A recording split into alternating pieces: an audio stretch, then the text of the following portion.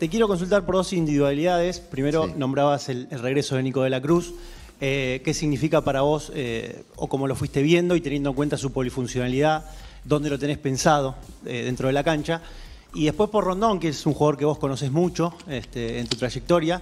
¿Cómo eh, lo vas llevando? ¿Cómo lo, lo vas viendo en estos partidos? ¿Y cómo crees que convive por ahí con esa ansiedad de, de por ahí no poder marcar? Bueno, Nico, ustedes lo conocen mejor que yo. Nico,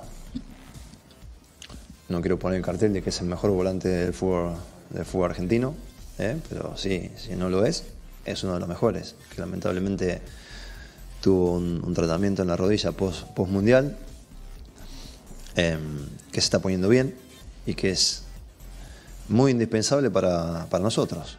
¿eh? Porque Nico te da eso, te da recuperación, es inteligente, es dinámico. eh, es líder. Bueno, necesitamos que se ponga bien. Por eso hoy me permití darle esos 30, 35 minutos. ¿eh? Lamentablemente hubo un quiebre emocional para mal. Nosotros justo cuando ingresa él, cuando ingresa Agustín, cuando ingresa, cuando ingresa Miguel. Cosas del fútbol. ¿eh? pero Nico está trabajando para, para, ponerse, para ponerse bien. Y Salomón, obviamente, el, el delantero vive del gol. eh, no está dando mucho en otras cosas, le estará conviviendo con esa ansiedad que le falta eh, em, del gol, que ya va a ser.